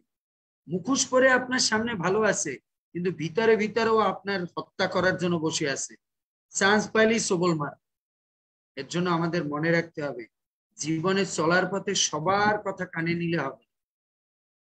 গুরু কৃষ্ণ কি বলেছেন শাস্ত্র কি বলেছেন ওই শুনে চুপচাপ চলতে থাকুন আর নিজেকে পিওর রাখো নিজের মধ্যে আবার ভেজাল ঢুকিয়ে দিয়ে না তাহলে কিন্তু ডুবে যাবে তাহলে ডুবে যাবেন এই কথাটাকে জীবনে মনে রাখবেন না একটা নৌকা ধরুন কি আপনাকে একটা উদাহরণ দিচ্ছি একটা জাহাজ সবাই বলতেছে নাবিককে আরে তুমি যেও না তুফান আসবে জাহাজ ডুবে যাবে এই হবে ওই হবে কিন্তু ও জাহাজ ছেড়ে দিল কোনো সমস্যা নেই হয়তো একটু চার ঝাপটার মধ্যে পড়েছে কিন্তু পৌঁছে গেছে একবার যদি আপনি ভিতরে গিয়ে ওই অন্যের কথা মাথায় নেন তাহলে ওই লিক হলো আর লিক হলে কি হবে জল ভিতরে আসবে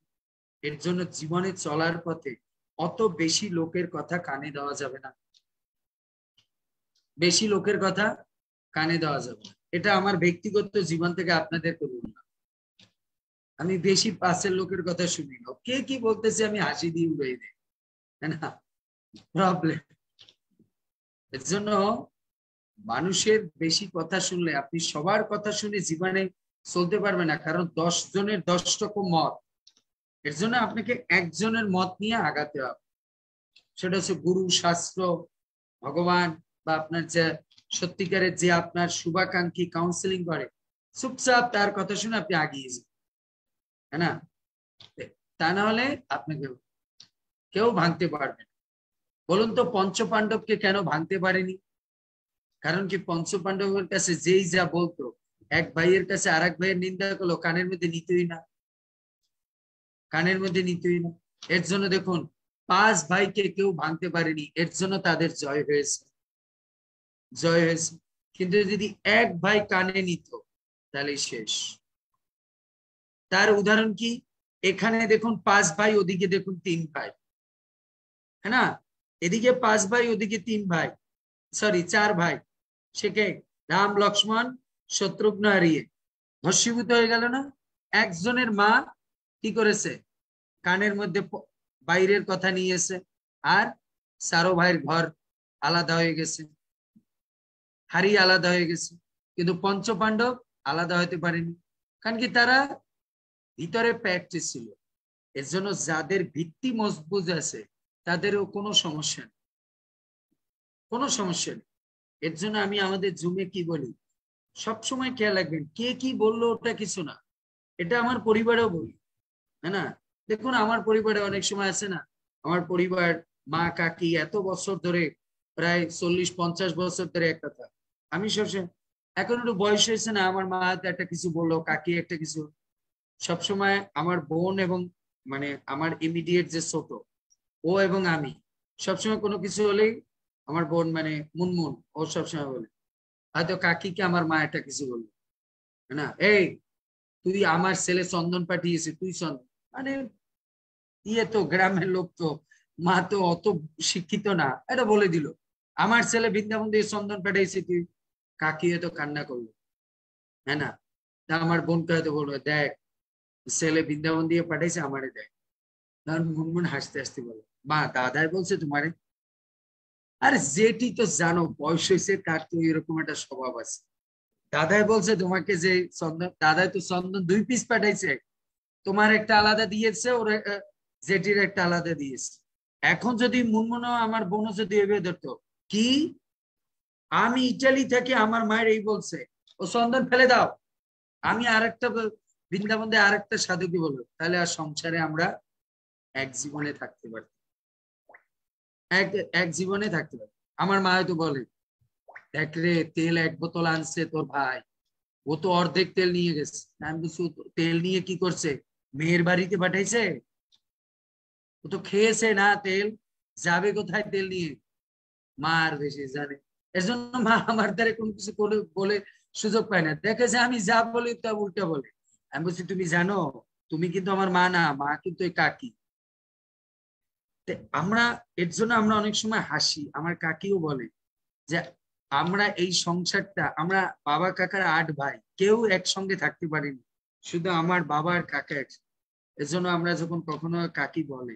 এই সংসারটা একমাত্র টিকিয়ে রেখে দেবেছি শুধু সুন্দর নিত্যানন্দ আর বড় মেয়ে এরা দুজনে কম্প্যাক্ট ছিল এরা কখনো দোষ ধরতো না দোষ ধরতো না যদি আমরা একটু মানে এদিক ওদিক করতাম সংসার একদিনই ভেঙে যেত এর মনে রাখবেন একটা জায়গায় থাকতে গেলে অনেক অনেক কিছু বলবে আপনি চিন্তা করবেন এটা প্রভু বলছে এই কথাটা আমাদের জুমেও খেয়াল রাখতে হবে কারণ একটা মনে রাখবেন কলিযুগ কলিযুগ ও মাতাজি আপনাকে তো লীলাশ্বরী মাতাজি হয়তো কি লিলি মাতাজি লীলাশ্বরী মাতাজি বললো তখন হয়তো রিনা মাতাজিকে ফোন করলো লিলি মাতাজি বললো আর আমি যাবই না প্রভুর জুমে এখন রিনা মাতাজি বুদ্ধিমান হলে কি করবে ও যদি বুদ্ধিমান না হয় ও যদি কান মানে লাগানোর অভ্যাস থাকে তাহলে কি বলবে হ্যাঁ মাতাজি আপনি ওই প্রভুর জুমে যাবেন না আপনার একটা প্রেস্টিজ নাই আপনি ডাক্তার আপনাকে ওই লীলাশ্বরী মাতাজি ফাতাজি কে আপনাকে বলার কে আর ও যদি বুদ্ধিমান হয় মাতাজি আপনি কি জুমে গেছেন লীলাশ্বরী মাতাজির জন্য আপনি গেছেন প্রভুর জন্য প্রভু আপনাকে কিছু বলছে আপনি প্রভুর সঙ্গে আলোচনা করেন এইটা হচ্ছে বুদ্ধিমানের কাজ এর জন্য মনে রাখতে হবে আমাদের যখনই আমরা কোনো সোসাইটিতে থাকবো কোনো কংগ্রিগেশনে থাকবো সবার কথা কানে দেওয়া যাবে না সেন্ট্রাল ব্যক্তি কি বলেছে যদি সেন্ট্রাল ব্যক্তি বলে তাহলে বাস ওই পাশে কি বললো অমুকে কি বললো এগুলো কানে নিলেই আমাদের রণতরী ডুবে যাবে এর জন্য এই জগতে বড় বড় সম্পর্কগুলো নষ্ট হয়ে যায় কি জন্য জানে এরকম অনেক সময় স্বামী স্ত্রীর মধ্যে ঝগড়া বাজে না কি ব্যাপার তুমি নাকি ওই মাতাজির ঘরে যেয়ে বসছিল আরে বাবা তুমি তো শুনবে ওই মাতাজির ঘরে কেন গিয়েছিলা কি জন্য গিয়েছি যখন পুরো ঘটনা শুনে তখন চুপচাপ হয়ে থাকে এর আগে তো অনেক ইয়ে করেছে এর জন্য আমাদের বুঝতে হবে জীবনে চলার পথে বেশি পিছনের কথা কানে দেওয়া যাবে না তাহলে আপনার জীবনের রণতরী ডুবে চুপচাপ থাকতে হবে সেন্ট্রাল পয়েন্ট থেকে কি বলে ওই শুনতে হবে বুঝতে পেরেছি কারণ এই জীবন চলতে গেলে একটা কথা মনে রাখবে সবারই হিস্ট্রি আছে না আমাকে যখন কেউ কিছু বলতে আসে আমি খালি একটা বলি মনে রাখবে বাবা সবার ইতিহাস আছে বেশি লাফালাফি করে লাভ নেই চুপচাপ চলো না এর জন্য আমাদের এইভাবে চলতে হবে কে কি বললো অত কান দিয়ে লাভ